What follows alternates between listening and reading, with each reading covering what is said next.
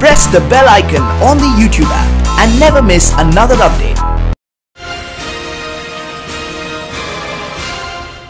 नोटबंदी के 15 महीने बाद भी बैंकों को लौटाए गए 500 और 1000 रुपए के पुराने नोटों की प्रोसेसिंग, यानी संख्या का आकलन और प्रमाणिकता जाँच जारी है। रिज़र्व बैंक ने दावा किया है कि प्रोसेसिंग तेज़ी से की जा रही है। रिज़र्व बैंक ने एक आरटीआई के जवाब में यह जानकारी दी है। स्क्रैप यानी व्यर्थ नोटों की वैल्यू पर आरबीआई ने कहा कि ऐसे बैंक नोटों की वैल्यू करीब 15 लाख अट्ठाईस हज़ार करोड़ थी। नोटों की गिनती और उन्हें वेरीफाई करने में फ़िलहाल उनसठ प्रोसेसिंग मशीनें काम कर रही हैं। इसके अलावा कमर्शियल बैंकों की भी आठ मशीनों का भी इस्तेमाल किया जा रहा है।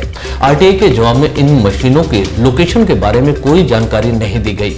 नरेंद्र मोदी ने 8 नवंबर 2016 को नोटबंदी का ऐलान किया था। इसके तहत 500 और 1000 रुपए के पुराने नोटों का लीगल टेंडर रद्द कर दिया गया।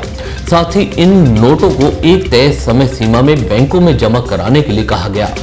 अपनी सालाना रिपोर्ट में आरबीआई ने कहा कि निन्यानवे प्रतिशत करेंसी वापस बैंकिंग सिस्टम में आ चुकी है, जबकि कुल पंद्रह लाख चालीस हज़ार करोड़ में से केवल सोलह हज़ार करोड़ रुपए सिस्टम में वापस नहीं आ पाए हैं।